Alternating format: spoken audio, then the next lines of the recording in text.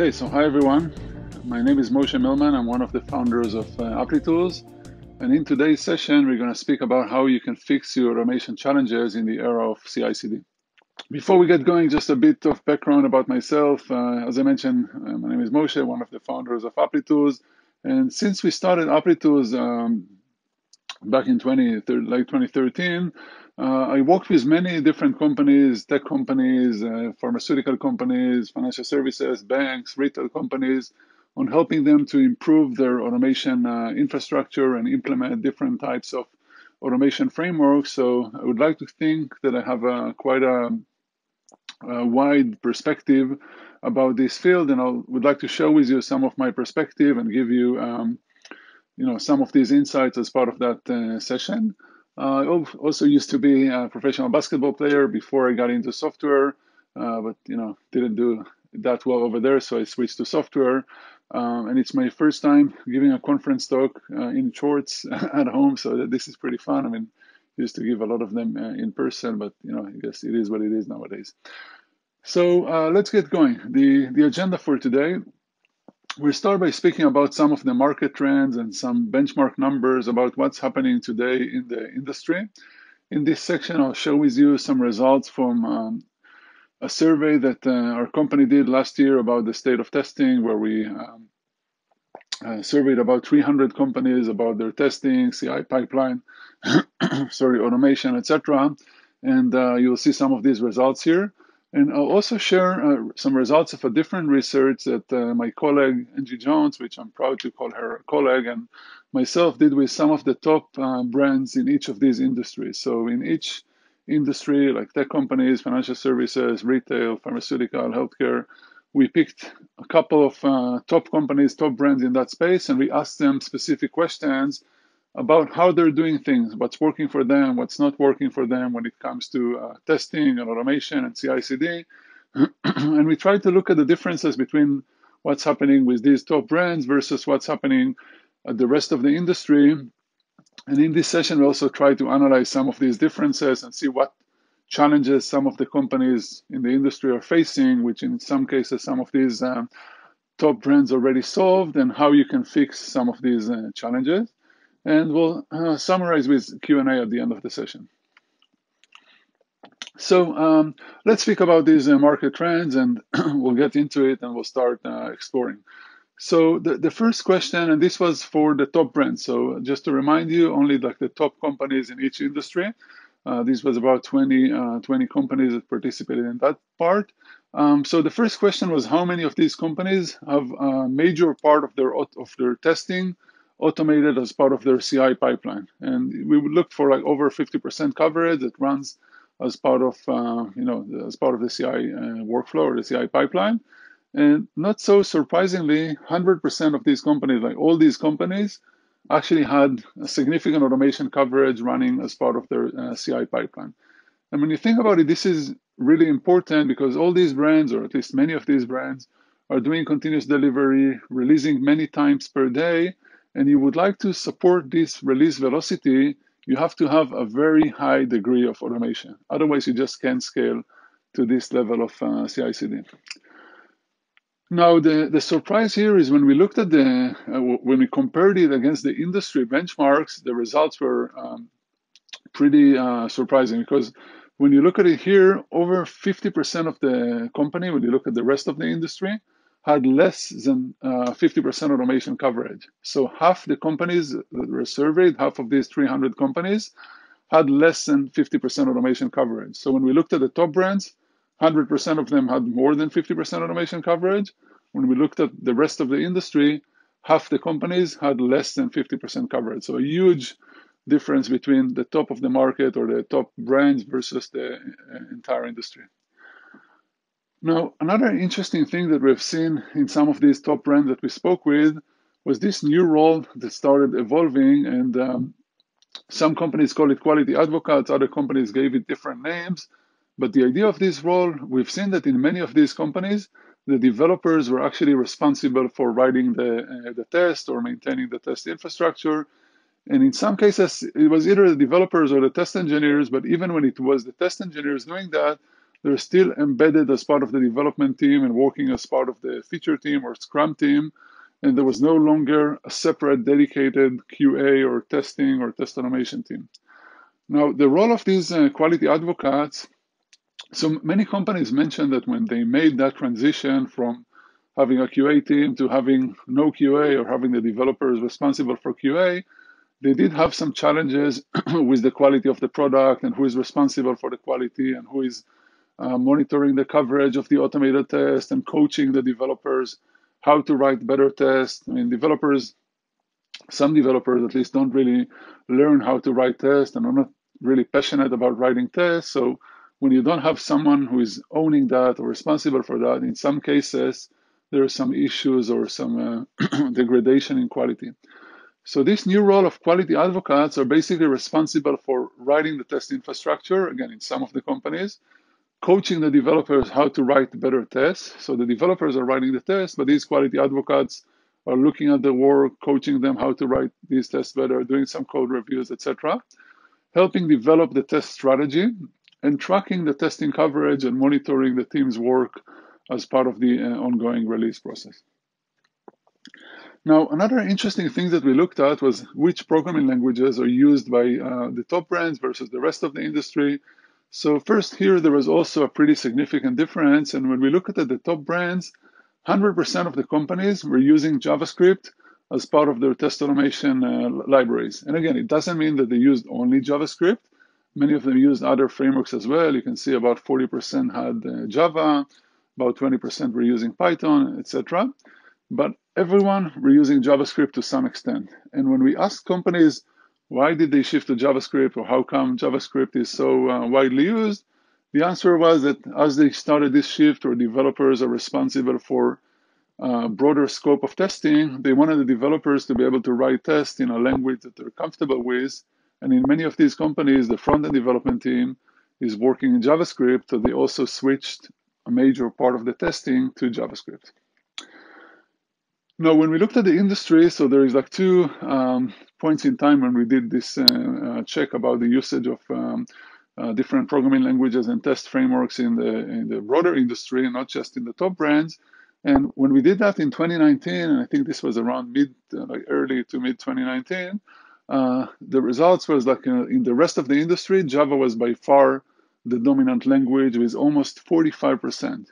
And then JavaScript came second with only 15%, and then C Sharp and Python were like third and fourth, and Ruby came uh, last. And um, in 2020, the results were slightly different. Java still remained uh, in the top with quite a similar percentage, so not much change when it comes to Java. But we did see a huge jump in JavaScript. It jumped from 15% to 30%. C Sharp and Ruby declined, uh, you know, pretty significantly, and Python gained some momentum, but only a slight uh, increase. So you can see this trend even in the rest of the industry. JavaScript is gaining a lot of popularity, and more and more companies are moving some of their test frameworks to uh, JavaScript. So after looking at the programming languages, we also wanted to see which test frameworks companies are using. And um, again, when you look at the industry, this was also really interesting to see the results because you know when I go to conferences, when I listen to different talks and webinars, you hear a lot about Cypress and Testcafe and Playwright and some of these new frameworks. And sometimes you get to think, wow, like you know these frameworks are taking over.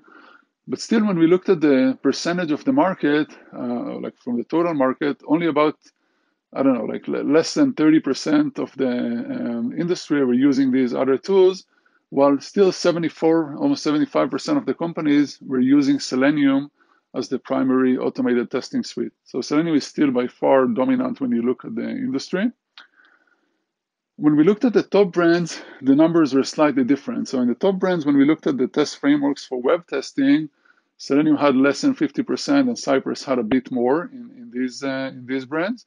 In mobile testing, there was a pretty even uh, distribution between Appium versus Espresso and XUI. And when we looked at component testing, about 30% of the companies were, use, were doing component testing and using uh, Storybook. Storybook is also gaining momentum, and more and more companies are using it as part of their uh, testing strategy. And uh, visual testing also was uh, used by 100% of the companies. So 100% of these top brands were doing visual testing as part of their automated testing strategy, and all of them are doing it with Applitools as their visual testing solution. Now, when we looked at the entire industry for visual testing, the results were very different than the top brands. So, as I mentioned, in the top brands, all of them are doing visual testing as part of their automation strategy. In the rest of the industry, about 50% were either not doing visual testing at all or doing it manually and not having uh, significant automation when it comes to visual testing. So it seems like here there is also a pretty significant gap between the top brands and the rest of the industry, and it can explain some of the um, solution and challenges that we're going to speak about later. Now, when we looked at CI/CD, not surprisingly, all the companies, uh, all the top brands had CI uh, pipeline, and you can see the CI/CD tool that they're using. Uh, this is less interesting, and we don't have enough time, so I'll skip that uh, part. A lot of companies are using containers as part of their CI strategy and test environment strategy. Um, if we have time, I'll share some more data points about it at the end of the at the end of the session. And feature flags was another thing that many of the top brands mentioned as something that they do as part of their release and testing strategy, so they can test some things in production or at a later stage. Again, some companies mentioned that they're moving away from feature flags but it definitely came up multiple times within the top uh, brands. Okay, so um, after we went over some of these uh, data points and the results from the survey, let's look at a few additional trends that we're seeing in the market. Again, here it's mainly my perspective, and I wanted to share some of these other trends and then transition to the uh, testing challenges and the solutions. So um, one trend, which again, I'm sure all of you are seeing that, is AI assisted testing or using AI for testing. So there is there is a huge hype around AI, and pretty much every testing vendor now mentioned that they're using AI as part of their solution, um, and uh, it, sometimes it can be confusing. So from my perspective, the three key areas where AI is used uh, successfully when it comes to testing are first around reducing the test creation and maintenance overhead. And over there, there is like things like self-healing tests, detecting timing anomalies, doing crawling in a smart way, being able to crawl the application in an automated way without writing code. These are like key areas. The second area, which is prob probably the most uh, mature use of AI for testing, is the, on the visual testing side, visual AI, finding visual regressions, doing image processing and comparing screenshots, using you know deep learning for these types of uh, use cases and making sure that the look and feel and the UI UX is consistent across all the different browsers, devices, and screen sizes. And the last point, which is also gaining momentum, is uh, around test data generation, test result analysis, detecting anomalies in the results of the test and stability, flakiness of the test, etc. Now, another uh, area that's gaining, regaining momentum is codeless testing. Sorry for the animated GIF. Someone told me that in every that you have to include an animated GIF, otherwise it, you know, it doesn't count. So uh, I put one here, which is to some extent related. So, so codeless testing, it used to be not cool to speak about record and playback or codeless testing uh, two or three years ago. And it used to be considered as, you know, companies who can't code are doing it kind of like as a, as a trade-off. But in the last couple of years, I'm seeing um, kind of like some re, uh, like these tools are regaining traction and starting to gain uh, momentum and it's adopted for various use cases. I mean, when we looked at the top brands, actually most of them are not using uh, codeless testing, but I'm still seeing companies looking at this and the tools are becoming more modern, more advanced. Some of these tools also implement AI.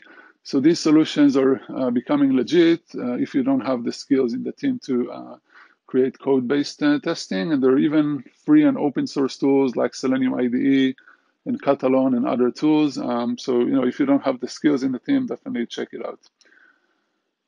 Now, another thing that, uh, I mean, there used to be a very clear um, separation between testing and um, development. It used to be different teams, different responsibilities, different leaders.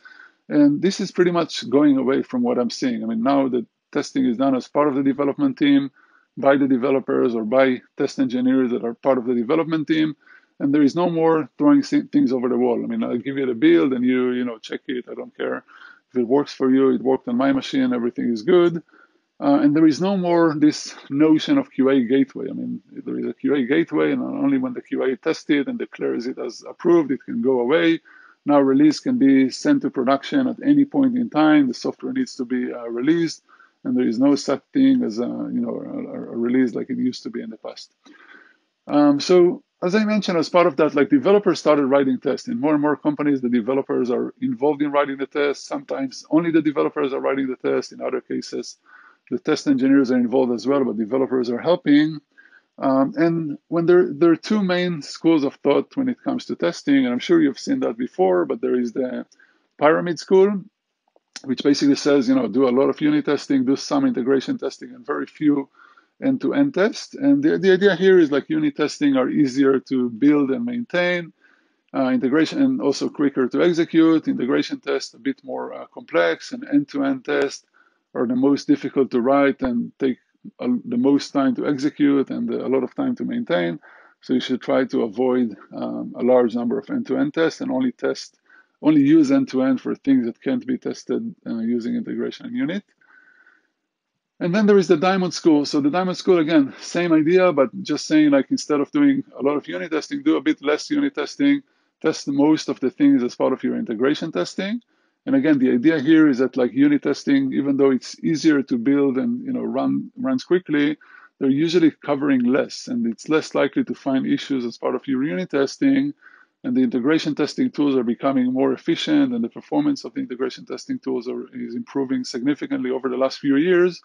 Uh, so now you can actually do less unit testing, test more with integration, and still do less end-to-end tests. Both of these models agree about it. And also included one more model of the trophy of testing by Kent C. Dodds.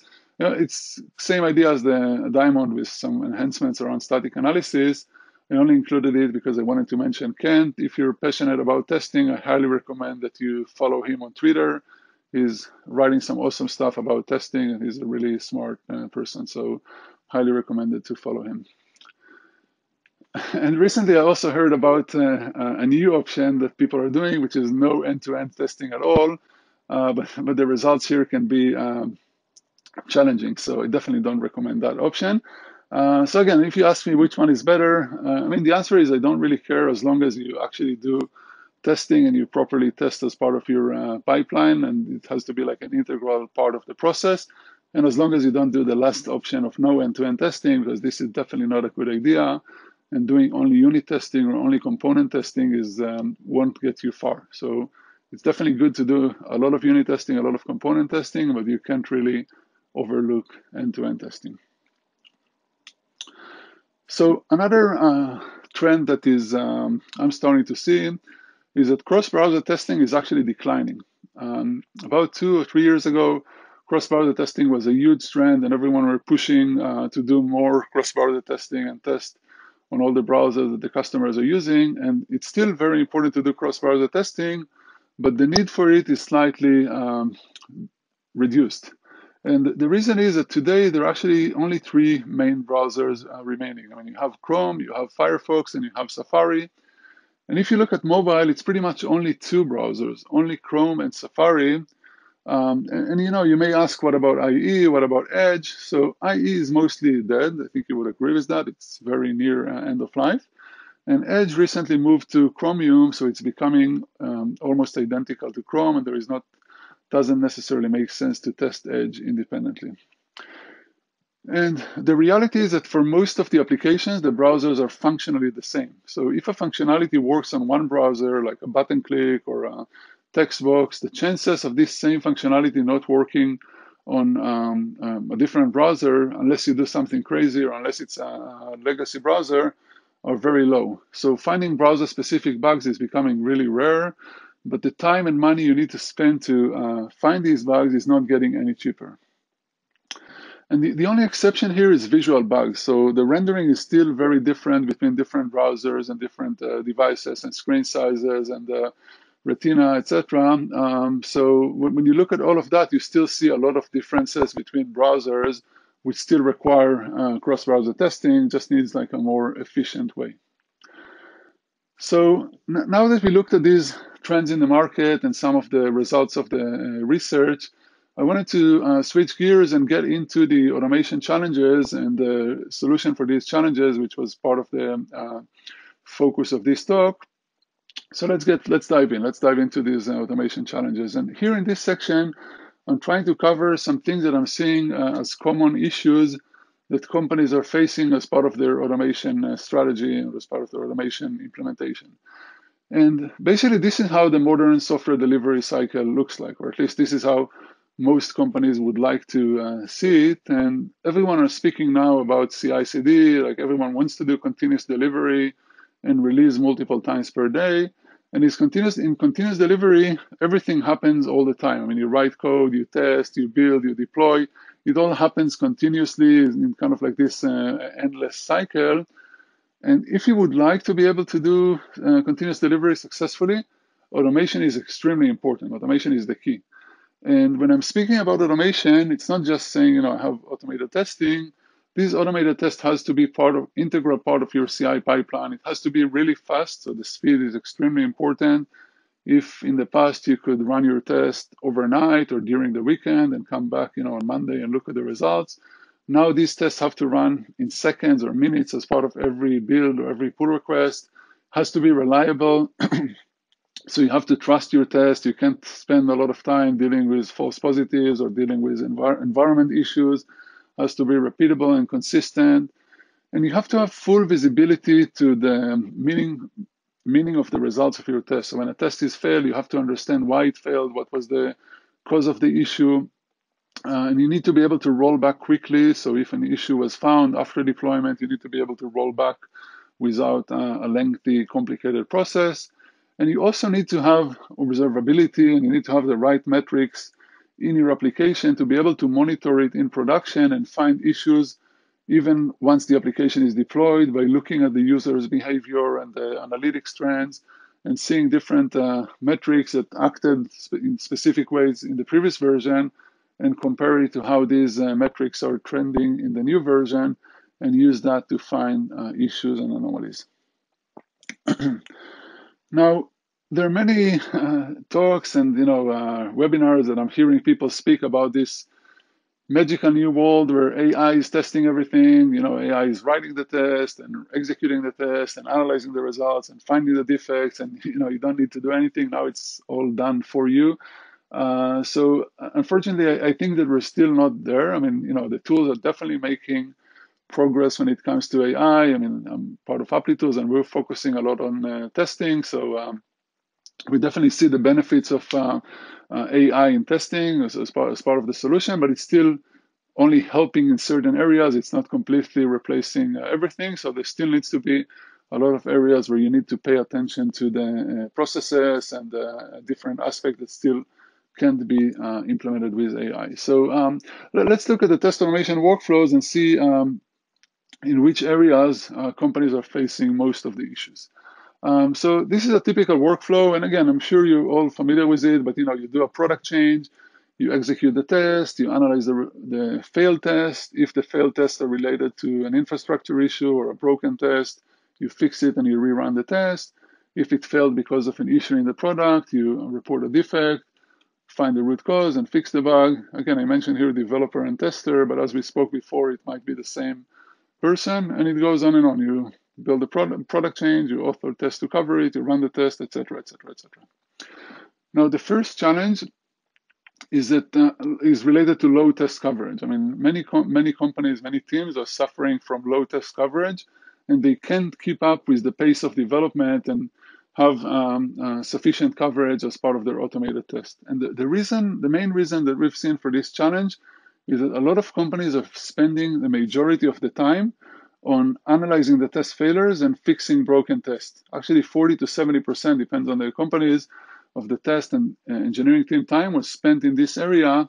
And this caused a hit in the time available to author new tests. So because companies are spending so much time on analyzing the failures and fixing the broken tests. They didn't have time to author new tests quickly enough and started uh, aggregating coverage uh, gaps. Now, when we speak about end-to-end uh, UI testing, and this is what a lot of companies are using Selenium uh, to automate, these tests test the end-to-end functionality of the system through the user interface. Again, with tools like Selenium and Appium and Cypress, etc. And in this test, every test is a sequence of steps where you navigate through the application, click some buttons, enter text, uh, move between screens, and then validate the output of the system in these different areas. So do some assertions to validate the text, validate the content, validate the, uh, you know, the look and feel, validate everything else. And the problems with that approach is that you need to add a line of code for every UI element, each and every UI element in the screen, which takes a lot of code. It takes a lot of time to build and maintain it. And when the UI changes, you're starting to uh, get flakiness in your test, and it takes a lot of time to maintain the test. And just to show you an example for that, like every uh, screen in the application nowadays, every page on your website or your mobile application have sometimes hundreds of underlying elements, and each of these elements has multiple attributes. This is an example that one of my friends sent me of uh, a security software that they're testing, which is you know like a nightmare to test. Try to imagine testing these charts and images and uh, colors and the text and make sure that the, the functionality is correct through the UI. And also analyzing the test results is done using these uh, complex log files, which are really difficult to see where the issue is and identify the, the root cause. Um, so, so the first challenge, just to summarize it, is low test coverage because every assertion that you add increases the maintenance overhead. So you start asking question, is it really worth automating? All these things check the system functionality through the UI, not really checking the actual UI. And it can only catch expected bugs. So when you write assertions, you assert specific things. If you don't assert it, if you don't cover it in the code, it won't be covered in your test. And if a new feature is added, it won't be covered in your test.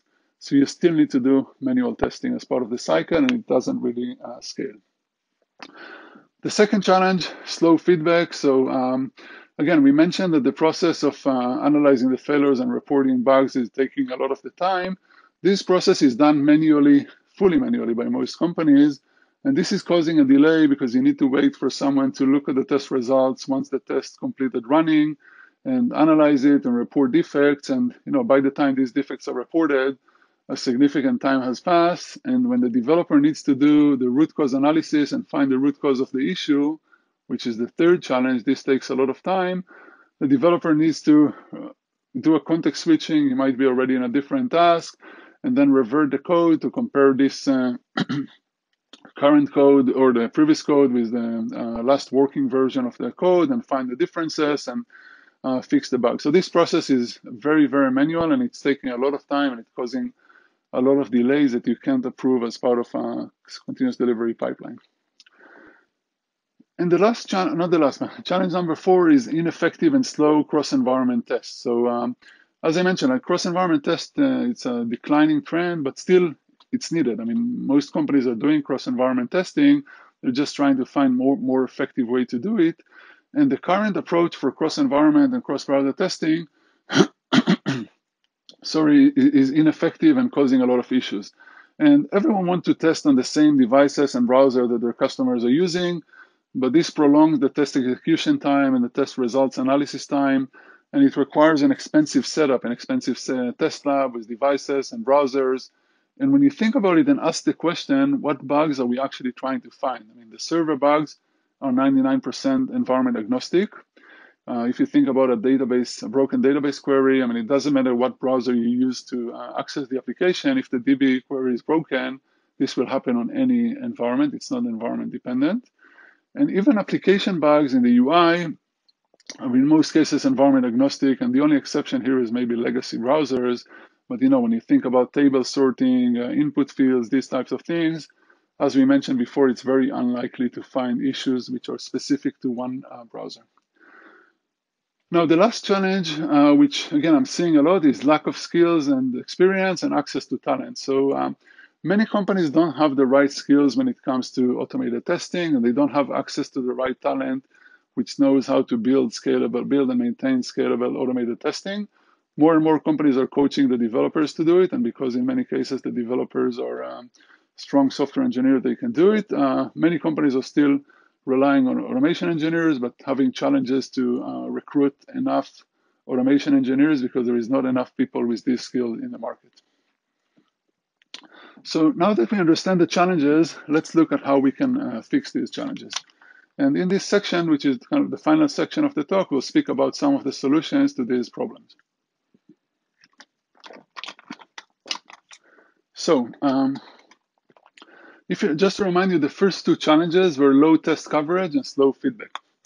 And um, when we think about low testing coverage and slow feedback, one of the things that can be helpful uh, to um, reduce that problem is visual testing. And just to align on the terminology, terminology, what visual testing means, it's the process of validating all the visual aspects of an application user interface on all the different platforms. And it goes beyond functional testing of tools like Selenium to make sure that the colors, the fonts, the content, the buttons, everything appears correctly on all the different environments. And it helps you prevent issues. Again, I'm sure you're familiar with these visual issues that happen on specific environments or visual regressions where certain things are not presented well to the end user on web or mobile applications. Um, and the big benefit of this concept of visual testing is that it allows you to do full page visual and functional validation. So when you think about it, if you remember the example of this uh, web page that we've seen before, which includes hundreds of uh, elements and each element has multiple attributes, testing it with Selenium, I mean, just only Selenium, I would need to go to each element and assert it individually. While with visual testing, I can add one visual assertion that will check the entire page and compare everything on that page with this one assertion or one line of, of code, removing a lot of the overhead in creating the test and maintaining the test. And just to show you an example that will help illustrate uh, these benefits is if you think about this login page that I need to test. So every application has a login form. And you know, it's probably one of the most simple forms of the application. But even when we look at that form with you know different fields and different buttons and different uh, images, if I had to write code with only Selenium to cover it, I'll need to write quite a lot of code. I mean, you can look at the code here; it's pretty straightforward. But I had to write and maintain about 18 lines of code with about 21 locators, which you know may change over time. So think about how much time it takes to write this uh, code. Think about you know how how does it really scale versus if you try to do this initial coverage with Selenium with the addition of visual testing, you pretty much replace everything with one, most of the code with one line of code which just checks the screen uh, uh, visually. You just check the window, and this is relying only on one locator for the navigation. All the other locators are no longer needed. So when these locators change, when the application changes, you have much less uh, maintenance. And additionally, many of the changes that may happen in the screen will not be covered by your traditional uh, functional test. So think about you know things that are disappearing, things that are overlapping, things that are added. You know, we spoke about new features. What happens with new features? In the first example, even though I had 18 lines of code, I still wouldn't find all these issues. I would have to add probably hundreds line, hundred of lines of code, and I still won't be able to find uh, new features that are added. With the concept of visual testing, I can immediately find all these changes without requiring more code or more maintenance. Now, the key question when uh, you know when you think about visual testing, so how does it actually work? You take a screenshot of all the screens in the application and you compare it against screenshots from a new version or from a different environment. So this way, every time a new version is uh, released, you can immediately check all the screens versus the previous version and find all the differences and find all the issues and the expected changes. And you can also compare it against additional environments. So if now, you know, iPhone 12 is released, you want to make sure that the look and feel on iPhone 12 is consistent with the look and feel on iPhone 11. So you can just say, okay, let's check iPhone 11 versus iPhone 12. But the big question that comes here that many people ask me when I explain about it is, how does it scale? Like, well, what about false positive? What about false negatives? How much noise and overhead is caused here? And the good news is that with modern tools that are in this space, and again, of course, I'm from Applitools, so Applitools is one of these tools, but there are other tools as well. Uh, these tools are getting to a really high level of accuracy, especially when you implement AI as part of it. You can get to very accurate image processing, not much uh, uh, false positives, even like levels that, you know, like less than one error every million uh, tests. And the reason for that is that the tools now know to look at the page beyond the pixel. So it used to be in the past, there are many tools that were available, still many tools that are available, which are doing pixel to pixel matching with thresholds. There are a few other talks in the conference about visual testing, so you can see the examples over there. But these things don't really scale well because, you know, when browser versions are released, things like that, you get a lot of false positives. The new tools know to look at the screen in a similar way to how a human looks at it and understand the structure, the images, the text, and be able to deal with dynamic elements, etc. And the maintenance is much easier. If you remember the log example that the user had to look at to find the issues, now the maintenance is just a simple UI that shows you the differences. It knows to um, uh, group together similar differences so you don't have the same, accept the same difference over and over again. So it saves a tremendous amount of time in the test creation and the test maintenance uh, effort. So just to summarize the first and uh, second challenges, I mean, with visual testing, you get visual and functional coverage. Every team member can participate in this process and see the results visually and accept, reject them. And it's easy to create new tests. It's easy to review the test results. So it solves a big portion, a big chunk of this problem. The third challenge is root cause analysis. And um, again, one of the improvements that some of the modern tools are allowing you to um, to use today is that when you find a difference, when you find a, a defect, you can immediately see the underlying uh, code changes which cause this issue. So you're not just showing the, uh, the defect, you immediately show the underlying code changes and the developer can fix it right away. The tester can, within one click, report all these uh, details directly to the bug tracking system, to Jira, or like, you know, send it to the developer via Slack and the developer can fix it right away. So some of the modern tools today allow you to do that, and uh, it saves a lot of time in the root cause analysis uh, process. Now, the first challenge we spoke about was ineffective and slow cross-environment testing. And this one is actually interesting because uh, when you think about it, how do you test, um, how do you run a cross-environment test today? How do you create one? Let's say that it's a, a visual cross-environment test. So a typical test would look something like this. You navigate to a page, click some button, check the screen, click some buttons, check the screen, click some button, check the screen, etc., etc. Now, it looks simple, but is it really simple? I mean, it's not that simple because when you think about it, you need to run these tests and you need to visually test it on different browsers, different responsive layouts, you know, portrait landscape if it's mobile, different uh, pixel density, retina display, etc. So it's becoming pretty complex. And what many companies end up doing is taking this same test that we've seen before and running it 10 times on Chrome, on Firefox, different viewport sizes, IE, Safari, Safari on iOS, etc. And you end up with you know many different uh, executions of this test. But is it really a good idea to run each test 10 times? Uh, of course not. I think you, you would agree with me. So what's the solution for that? I mean, one option that companies try to do is to run it 10 times, but parallelize it, run it 10 times in parallel.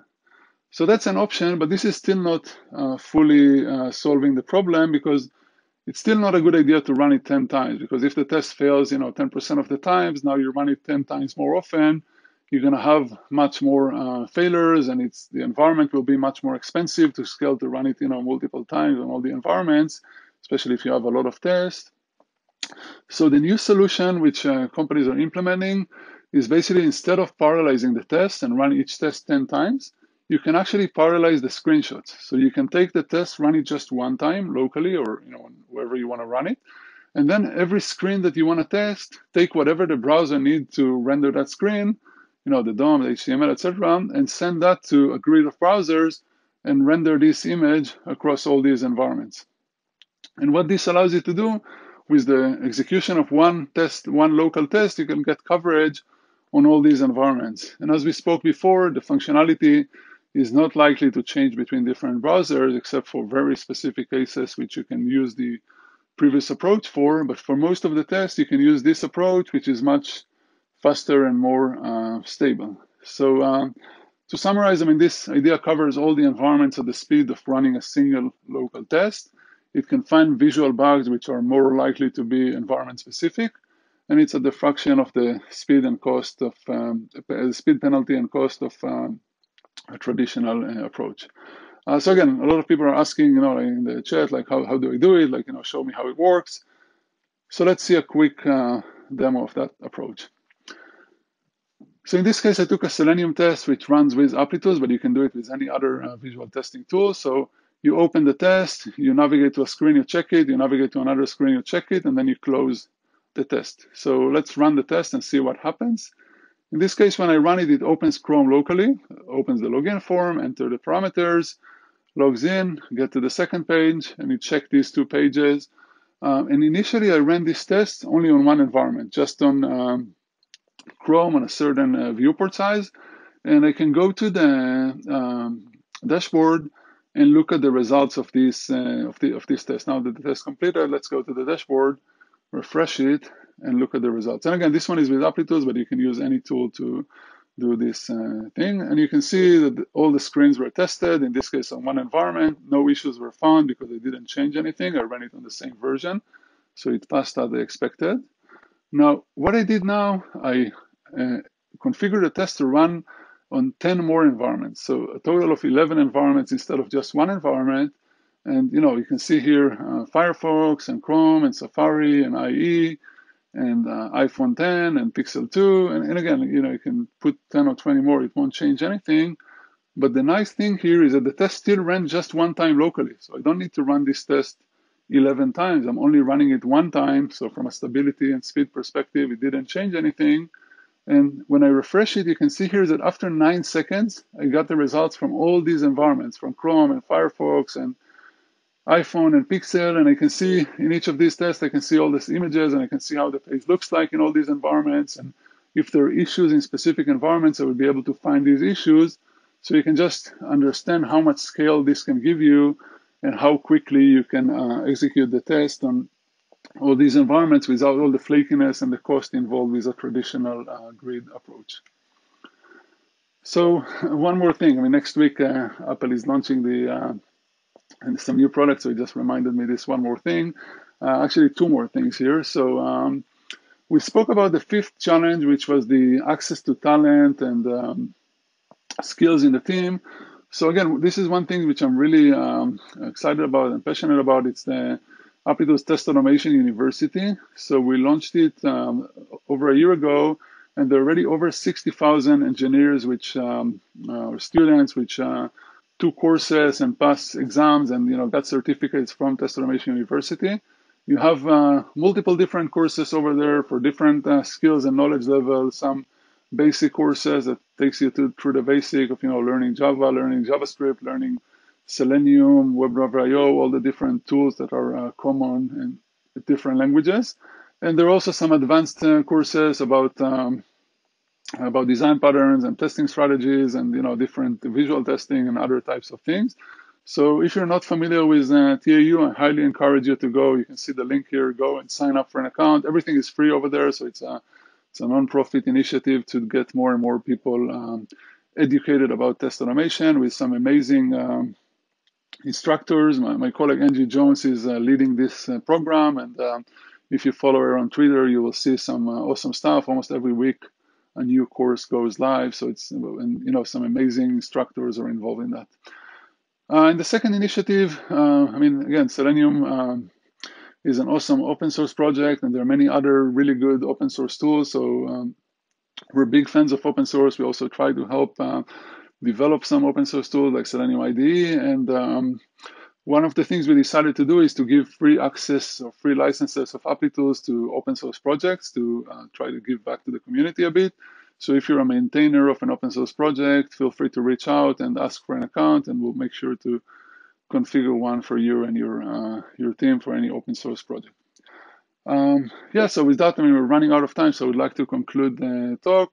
Uh, as, I, as, I, mentioned, my name is Moshe. You can see my Twitter handle here. Feel free to ping me on Twitter or uh, send me an, email, and uh, I would be glad to be in touch. I hope you found uh, value in this uh, talk. And uh, but again, if you have any questions, please don't hesitate to reach out. So thank you very much.